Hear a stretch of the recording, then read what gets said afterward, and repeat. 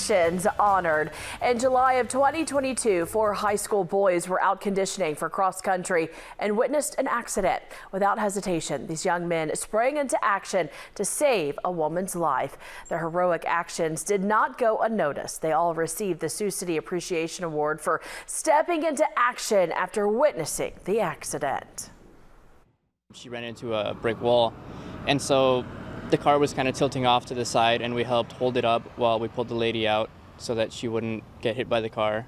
And then the police came over and helped out with the rest. Sergeant Tom Gill from the Sioux City Police Department says he's proud of how these teens responded to the crisis unfolding right in front of their eyes. They recognized that hey, someone was was in danger.